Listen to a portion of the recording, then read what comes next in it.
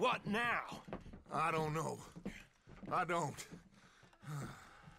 This whole town is filled with cops.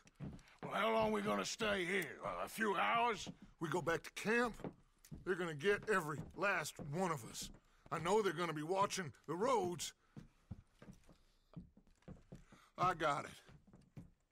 A boat. What you mean?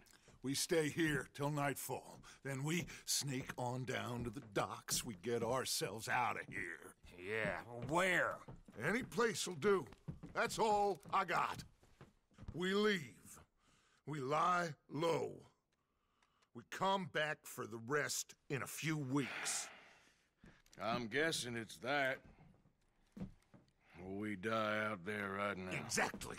Now, everybody, calm down.